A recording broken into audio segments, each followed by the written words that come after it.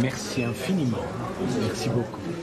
Ils sont plusieurs centaines à avoir fait le déplacement pour rencontrer l'ancien président de la République, avec dans leurs mains son nouvel ouvrage. Je viens de l'acheter. Je suis en train de regarder surtout les photos qui illustrent le, le livre.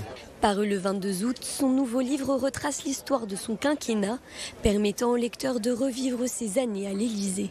J'aime beaucoup connaître les relations qu'il y a entre ces, tous, ces, tous ces politiques qui euh, parfois euh, travaillent plus pour eux-mêmes que pour le pays. Sur place, beaucoup d'anciens électeurs, mais aussi des admirateurs de l'ancien chef d'État. J'étais responsable de sa permanence à Roubaix, donc ça, ça remonte déjà en 2007.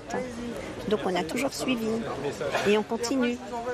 Et s'il y a un autre livre, on fera dédicacer l'autre livre aussi. Moi, je l'ai suivi depuis que j'étais petite, à l'âge de 10 ans. C'est toujours plaisant de rendre visite à un président, peu importe son parti, peu importe nos convictions, et euh, voilà, d'avoir toujours du respect. Les dédicaces s'enchaînent, un moment de rencontre et de partage avec les Varois, mais aussi avec les vacanciers. Quand on vient dans le Midi, au mois d'août, on rencontre la France, des gens de Valenciennes comme des gens de Saint-Raphaël.